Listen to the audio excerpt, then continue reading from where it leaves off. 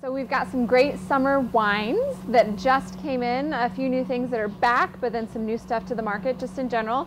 Uh, first up is the Cracklin Savie from Lake Chalice. This is a sparkling Sauvignon Blanc from New Zealand. I've not always been a big New Zealand Sauvignon Blanc fan, but the expression that this has with the bubbles kind of softens that really intense citrus quality that you get from New Zealand Sauvignon Blanc.